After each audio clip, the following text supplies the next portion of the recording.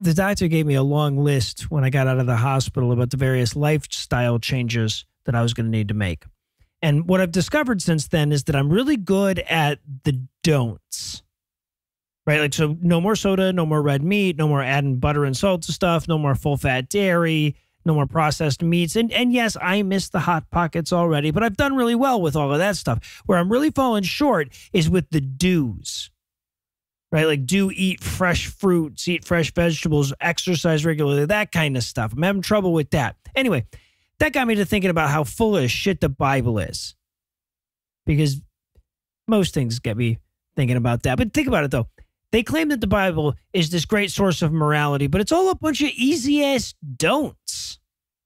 I mean, how much effort does one have to expend in not killing and not stealing? How much time do you have to set aside in your life for the effort of not carving graven images? This is moral obligation on easy mode. Nine out of 11 of the 10 commandments is a don't. And the only do's are keep the Sabbath day holy and honor thy mother and father, which are A, terrible moral advice, but B, largely passive instructions in a hierarchical society that takes the Sabbath off already. And this holds even if you zoom out. Because obviously, the Ten Commandments are just 11 or 12, depending on how you count them, of the 613 commandments in the Bible. And about two thirds of those are don'ts. And the majority of the do's are things that only apply to priests and have nothing at all to do with morality. If you legit got your morality from the Bible's commandments, well, well then you probably kill Amalekites and massacre a lot of livestock, I guess. But setting aside all the laughable specifics, even if you just got your concept of morality from the Bible, you would think that morality was, by and large, a passive thing. That good is the mere absence of bad. Talk about the bare fucking minimum. These motherfuckers want a I didn't murder anyone again today cookie. And and it honestly, it shows in their morality across the board. It shows in that sort of bootstraps libertarianism born of the delusion of self-sufficiency so common among American evangelicals. Your problems are your problems. I already didn't covet my neighbor's wife twice today, so I've met my moral obligations for this week.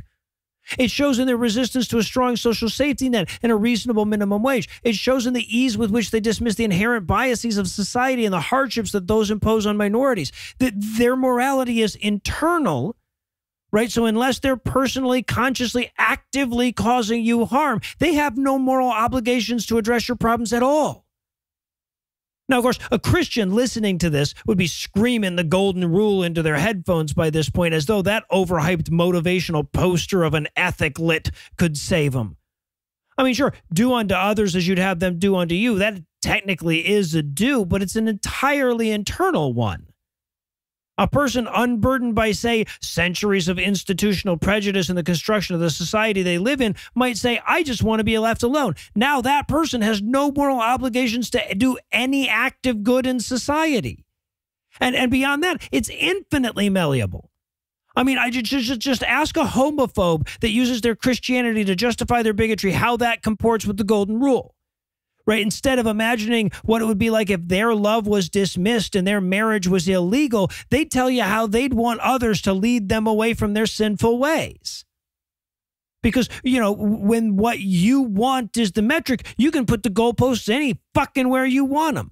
Morality is more than that. It's not enough to just treat LGBTQ people as your equals. You have to use your position of privilege to fight for their equality. It's not enough to not see race. You have to work to dismantle the institutional barriers to equality. It's not enough to help the poor. You also have to actively work to keep people out of poverty. Thou shalt not is the bare minimum, not the aspiration. And that's a humanist ethic right? That's a morality that's born of our obligation to each other as opposed to our obligation to some fictitious deity.